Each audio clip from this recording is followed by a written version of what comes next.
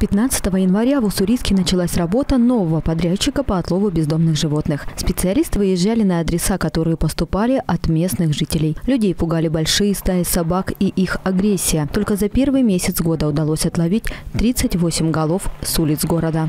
Заявок поступает на самом деле очень много, тем более, что народ узнал, люди, жители нашего города узнали о действующем контракте, о том, что ведется отлов. И все свои болевые точки, да, все поступает в администрацию, мы владеем всеми адресами. Для отлова животных привлекается команда из кинологов и ветеринаров. Работа группы должна быть зафиксирована на фото и видео. Данные прикладываются к общему отчету. Трудиться оперативной группе приходится в том числе в неудобных позах, местах, а порой и круглосуточно. Часто сталкиваются с агрессией, если четвероногие защищают потомство, территорию или добытую еду. Собаки, которые выросли на улице, очень осторожны. Есть дикие собаки, которые вообще не подходят к человеку. И вот, вот это их поймать большая-большая-большая проблема. Вот. А на такую собаку, вот на последнюю, у меня ушло, наверное, почти месяц.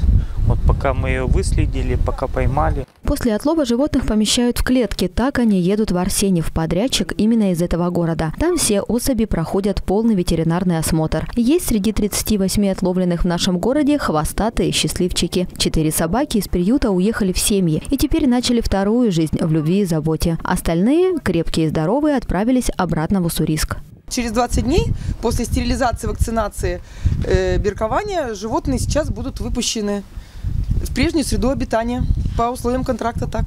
Программа по отлову безнадзорных животных в округе работает третий год, но поголовье бродячих собак не уменьшается. Работники администрации связывают это с отсутствием принудительной стерилизации для тех, кто не подлежит племенному разведению. Чаще всего в коробках, в подъездах, у магазинов оказываются щенки, которые спустя время образуют костяк стаи инстинкты обостряются в ночное время. То есть бабушка сердобольная кормит с балкона, кидает еду, а, а вечером люди идут с пакетами, и собаки начинают кидаться на пакеты. Она еще сама себя поощряет, когда выхватывает с этого пакета колбасу. И потом идет ребенок со сменкой в школу. Он маленький, беззащитный, и начинается, кидается на пакет. На сегодняшний день в Уссурийске отловили 106 собак. Уже вернулись в привычную среду 34. Стоит отметить, что в первую очередь специалисты работают с теми четвероногими, на которых приходят заявки от жителей округа. Обращения граждан фиксируют в администрации и потом передают исполнителю.